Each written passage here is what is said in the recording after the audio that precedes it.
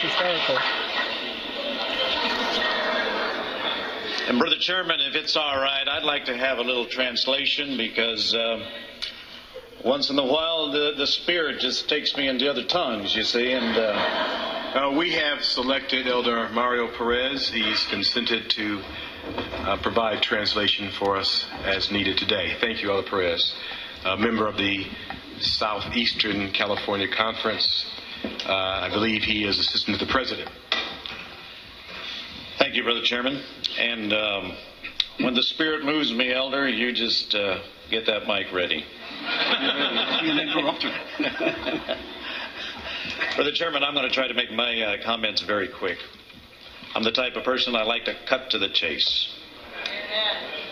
There are three issues that I'd like to just briefly mention and clarify, and I'm speaking from the heart today. Uh, my fourth item, I'm going to make an appeal to. You know, I've spent uh, several years in ministry, so I think I'm eligible for an appeal to my fellow church leaders.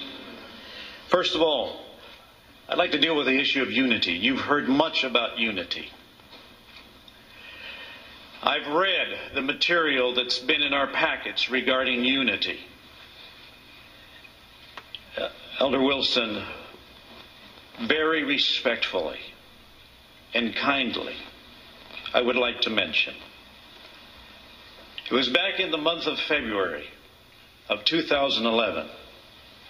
To be a little more specific, February 13, 2011. I was uh, chatting with a General Conference Vice President regarding this issue that we're dealing with here today, the ordination of women. Of women. Uh, Vice President of the General Conference told me very, very clearly, because he was differing from my point of view, but he told me very, very clearly. You know, the time has come that really the world church really doesn't need the North American division. The other world divisions can basically handle themselves on their own financially. Now, fellow delegates and Elder Wilson, I've always understood that the vice presidency is an extension of the president's office. That's what I've understood. If this vice president is speaking in behalf of your office, we do have a serious problem because I hear unity on one side and yet I hear something else on the other side. If he is not, if this individual is not speaking in behalf of your office, then I would kindly appeal to you, Elder Wilson. Please put a stop to this. Number two, I've heard a lot about rebellion. That the Pacific Union, the Columbia Union, I believe we have, uh, I believe we have uh, a, a conference or a union out in Germany, Trans European Division somewhere, that has also taken a similar type vote. That these entities are in rebellion. I would like to clarify something, and if it's all right, let me transfer into tongues here. Because we do have some fellow delegates I have noticed that are being translated by their neighbors, and let me make myself clear. So let me jump into Spanish if it's all right. Mis hermanos. Brethren and sisters, and sisters,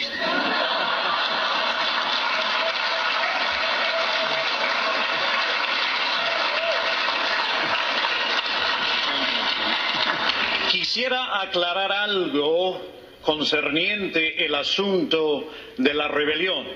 I want to clarify something in regards to rebellion. Porque yo he escuchado en varios lugares I have learned, listened and heard in several places, y yo sé de dónde proviene esto. and I know from where this comes.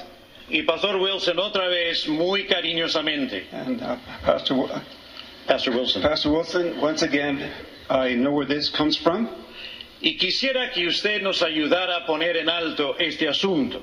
and I would like for you to put in priority this No, put a issue. stop to this. Put a stop to this issue.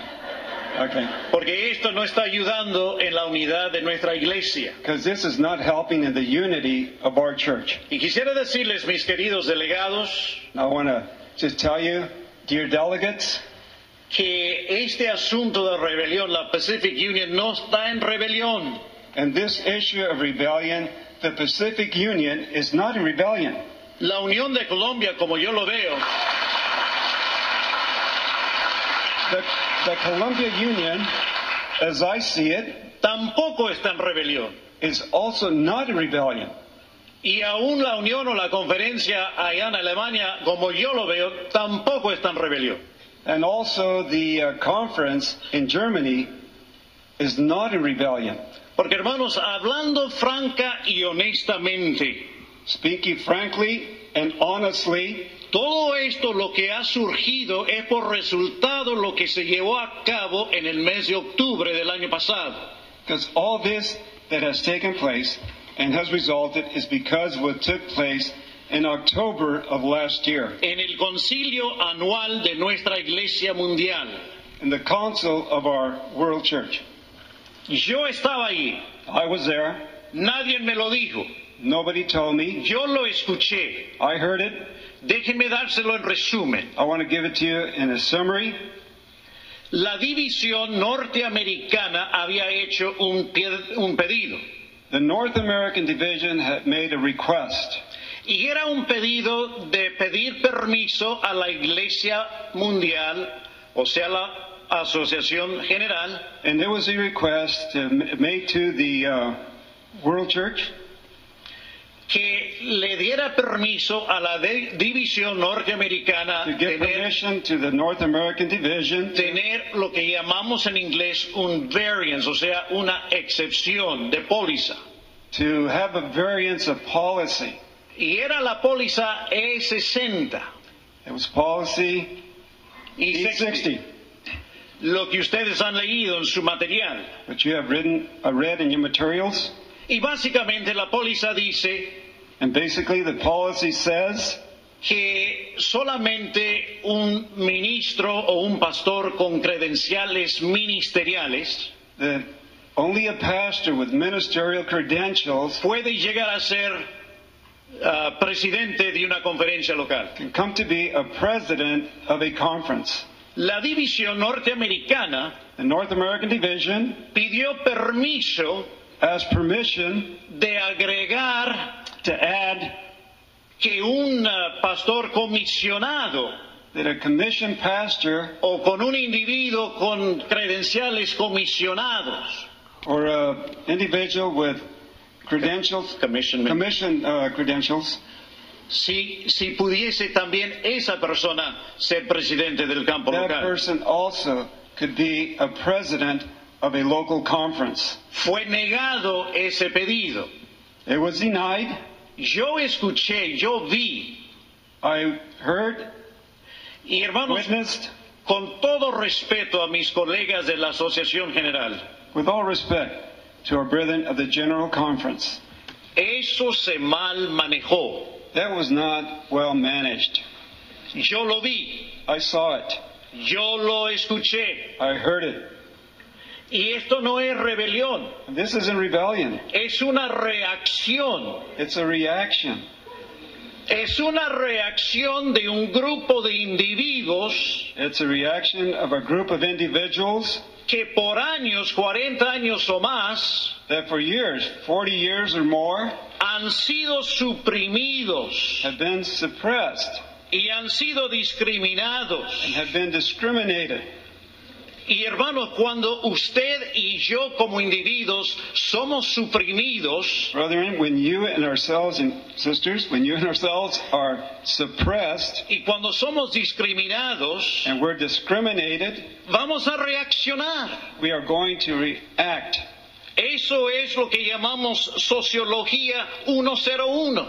This is what we call sociology 101. 101.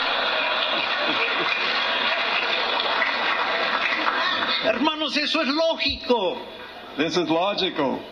Cuando un grupo de gente, un grupo de individuos When a group of people, a group of individuals son suprimidos are suppressed y son uh, discriminados, and are discriminated, ese grupo de individuos, ese grupo de gente van a reaccionar. that group of individuals, those persons, are going to react. Es lo que estamos viendo aquí en la Pacific Union. That's what we're seeing here in the Pacific Union. Grupo de personas reaccionando. Persons that are reacting. Y es lo que estamos y hemos visto en la Columbia Union, personas reaccionando. And we've seen this in the Columbia Union, persons that are reacting. Ahora, si está bien, quisiera presentarles una cita de la sierva de Dios. I want to present a quote from the servant of the Lord. And translator, you just stand right back of me. and chairman, if it's all right, I'm quickly transferring into English and, and reading a quote here. I'd like for them to show a quote. This comes from the spirit of prophecy. I, and if it's all right, brother chairman, I'd like to turn a little bit into evangelistic here. Uh, As long as you do it shortly and briefly. That's right. I'd like for you to read this with me all together. Ready? Here we go. The highest authority under God among Seventh day Adventists is found in the will of the body expressed in the decisions of the General Conference when acting within its proper jurisdiction. And that such decisions should be submitted to by all without exception. Now, the next slide. And I've taken this from Dr. George Knight's book, Organizing for Mission and Growth, but it's a Spirit of Prophecy quote. She finishes saying, read it with me, unless they can be shown to conflict with the Word of God and the rights of individual conscience. Wow. Now, it's, it's surprising to me that our General Conference brethren haven't used that quotation before. Easier and easier. Now, brothers and sisters, fellow delegates, and brother chairman, I would like to end with this appeal. I would like to end with this appeal. And my translator, that's all right, just stand right here. I would like to make my appeal to our fellow church leaders, starting with the General Conference president, right on down. When we as church leaders are elected to positions of leadership, we are elected the way I look at it. We are elected, number one, we're elected to lead.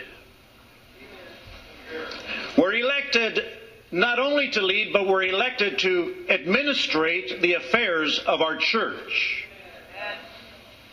But, fellow leaders, we are also elected to our positions and to do our part to hold this church family together. That's our responsibility. And in a spe- spe- specific way, to my General Conference brethren, I would like to appeal.